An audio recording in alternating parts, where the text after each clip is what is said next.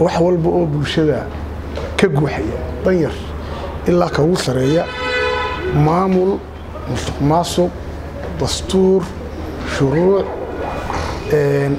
golayaal waxaasoo dhan waanu weydiinay. Kulan furan buu ahaa. Saxaafaddu hadduu alla ka dhigo waxaa weeye goluhu duwaysay insha allahu bulshadana aanu la wadaagi doonno guddida dabagalka iyo ilaalinta hantida qaranka ee golaha wakiilada somalilan ayaa maanta kulan la qaatay xeeralaalyaha guud ee qaranka. Kulankaasi oo warbaahintu dibajoog ka ahayd islamarkaasina qaatay saacado badan ayaa markii uu soo dhammaaday. Waxay warbaahintu isku dayday inay wax ka weydiiso kulankani iyo ujeeddadiisa iyo waxyaabihii lagaga wada hadlay. Balse guddoomiyaha iyo guddoomiye ku-xigeenka guddidaasi xildhibaan mustafa khayreeye iyo xildhibaan maxamed abiib ayaa markii uu kulankaasi soo dhammaaday waxay warbaahinta goobta ku sugnayd u sheegeen inaanay jirin wax su'aal ah iyadoo uu sidaasina golaha kaga baxay xeeralaalyaha guud ee qaranka.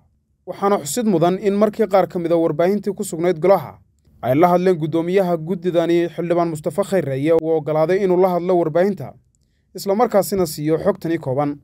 Saxaafadda madax bannaan ee waxaa weeye dalka waxaa ka mid a rukuumada dalka ugu muhiimsan ka mid a aad iyo aad baad mahadsan tihiin guddigu maanta kulan bay lahayd.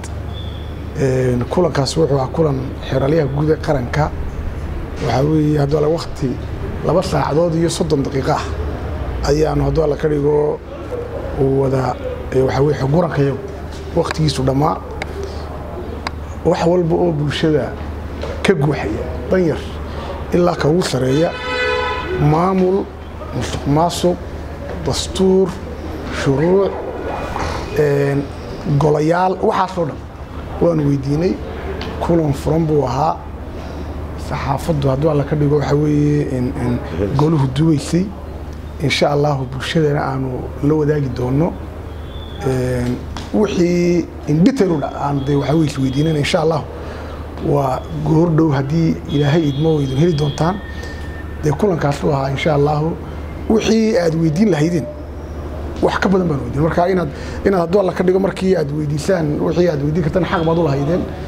Saxaafaddu anagu cidda aanu la kulannay ee mas'uulka ah ee xafiiskayga timaadee markaanu macluumaadkii xogihii guddiga shaqada waajibaadka guddigaha markaan weydiino idina xaq baad u leedihiin inaad waxaa weeye mas'uul kasta aad weydiisaan. Marka xaqa mar walba hadduu alla ka dhigo xorriyadda saxaafadda iyo su'aalaha saxaafadda dadka mar walba guddi ahaan waa dadka ixtiraamaan nahay. Waktigoon ugu dheeraaday salaadiioo joogtay orodkii ayaanu isla kan jirnay. Marka aad iyo aad baanu idinka raali gelinaynaa idin ilaahay. Xeraaryuna waxaa weeye sidaa anaga noogu waray idinkana waa idiin warami doonaa xafiiskiisa waad booqan kartaan no problem. Aad iyo aad baan idinku mahad celinaynaa warbaahinta madaxa bannaan ee inta badan ka soo warrantaa golaha baarlamaanka somalilan ayaa ah kuwo si joogta ah u soo gudbiya.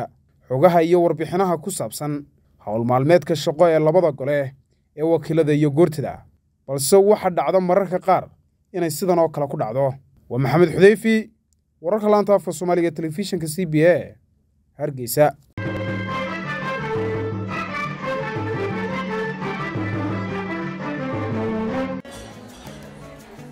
واو اسبوعك في عايز صاحبي waad ka heshay sooma ما شاء الله صح ما عاد وش بصير waxaan ku shubtay xidhmo furan toban doolar baad ku shuban kartaa shan baad ku shuban kartaa shan iyo toban baad ku shuban kartaa labaatan baad ku shuban kartaa